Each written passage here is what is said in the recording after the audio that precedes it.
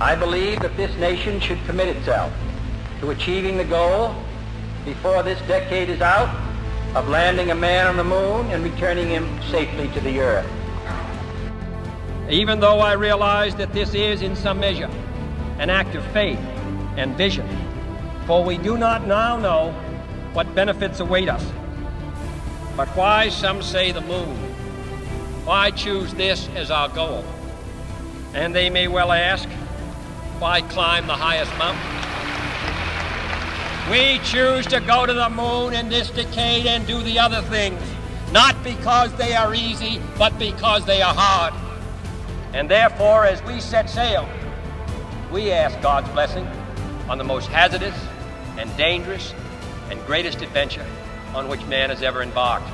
Thank you.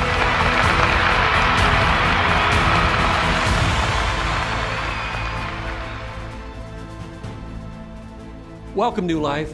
I want to give a big shout out to all of you at all of our campuses. Welcome to New Life Church. This is Vision Weekend.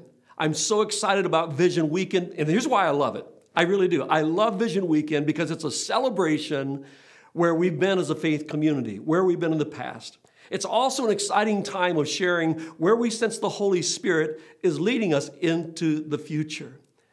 As you know, just a few short uh, weeks ago, we had our 30th year anniversary at New Life. And wow, it was amazing. And, and I just want to spend a moment as we begin looking where we have been in the last 30 years. You won't believe this. Look at this. Back in 88, we we're averaging 45 people in attendance. And then now in 2018, we're averaging right at 3,400. That's really crazy, right? Back in 88, uh, we, we, had a yearly giving of about mm, 72,000. And now in 2018, we've had right at $4.6 million come into this ministry. Is that a big yay, God? In fact, I want us to pause at all of our campuses and just celebrate right now. Let's applaud God and thank Him for what He's done over these last 30 years. Come on, join with me. Let's do that right now. Let's do it. Yay, God. Lord, we're thankful for what you've done these last 30 years. At our 30th year anniversary, it was amazing. It really was. Uh, our president, Glenn Burris, was with us, and, and uh, Bill Cheney from New Life Church sent out. He's a supervisor, and Pastor Wendy Nolasco and her family.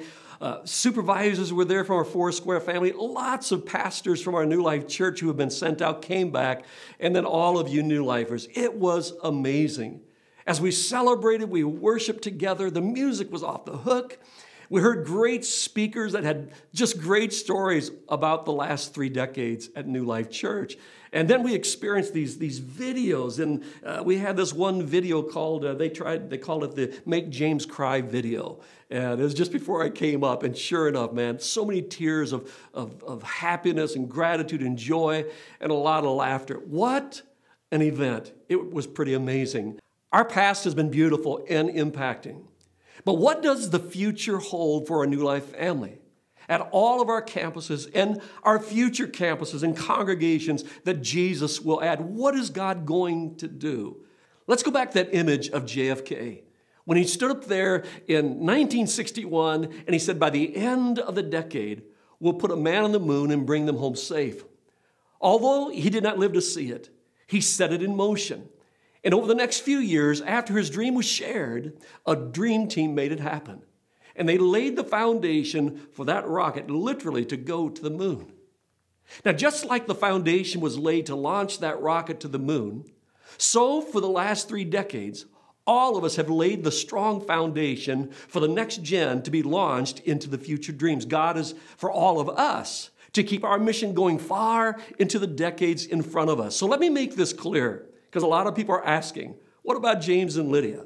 Well, listen, Lydia and I have loved our journey here as lead pastors for these 30 years, and we aren't going anywhere. Somebody just the other day said, James, I heard you retired. No, I'm, are you kidding? I'm just getting started. But, but we're going to continue to be the lead pastors who are partnered with our campus pastors to shepherd and lead our New Life family into the future. But what has changed is Lydia and my assignment here at New Life Church. We still sing and preach and, and, and, teach and, and lead most weekends, but how we do it has changed. Why? Because just like King David, the great leader of Israel, set up his son Solomon to take the kingdom into the future, by partnering him while he was still there, so Lydia and I feel like everything we've done for 30 years is now to launch a new generation of pastors and leaders to take it into the future, farther than Lydia and I ever could. And we're just standing right beside them, working with them, coaching and training and inspiring and leading our global New Life family. So, listen, New Life family, it's vital to pass on this mission and vision of New Life Church to the next gen.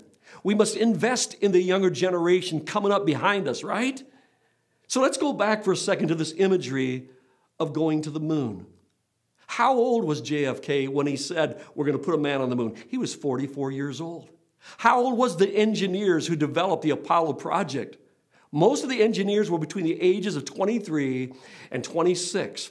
Why so young? Because they think outside of the box. How old was Neil Armstrong, the commander of Apollo 11, who put man on the moon? He was 38 years old, right at the age of my oldest son, Jim. Here's what I'm saying our future is great at New Life because this weekend we are officially launching the next gen into the future. So that everything we've done for 30 years will be an investment in our future. So that we will ensure that our mission will continue for decades to come. Our mission of getting people to what? To know God, be restored, uncover purpose, and live sent. Our mission of restoring broken lives.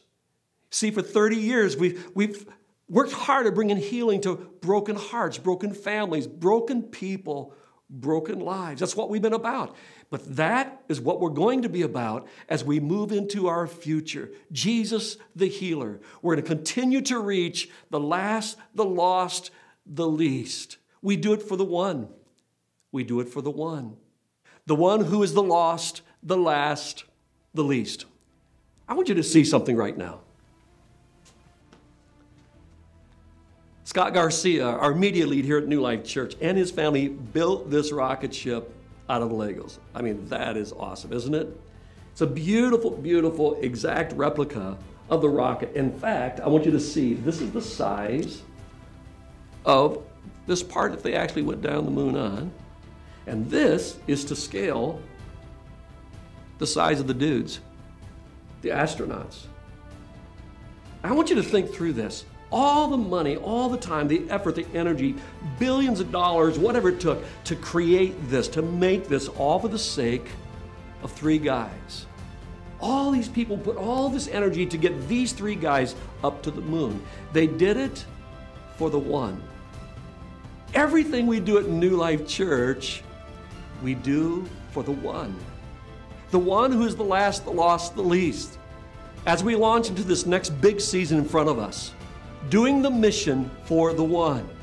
We are going to do it together, New Life. You and me and our awesome campus pastors, and we're going to do it all for the glory of God and His Son, Jesus Christ.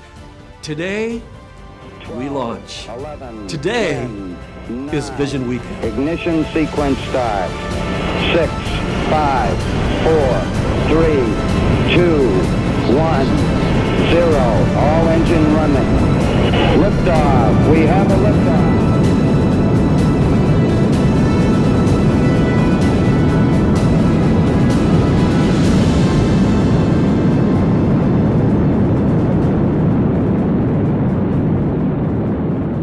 What a message from our lead pastor. Because vision is so important not only to our church whole, but to our campuses specifically, we have added all of the Vision Weekend talks from each campus below. Just click on the link that has your campus name and get ready to hear what the future holds at the place that you call home.